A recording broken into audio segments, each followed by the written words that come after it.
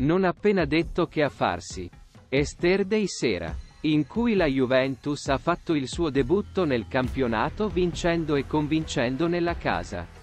Dell'Udinese per 30. Ha anche visto il debutto in Serie A di Kenan Ildiz.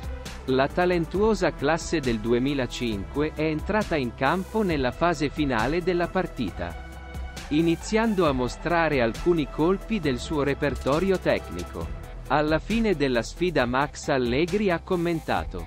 Scherzosamente. La sua esibizione domani si taglia i capelli. Perché se l'ha toccato cento volte e ora se deve tagliarlo.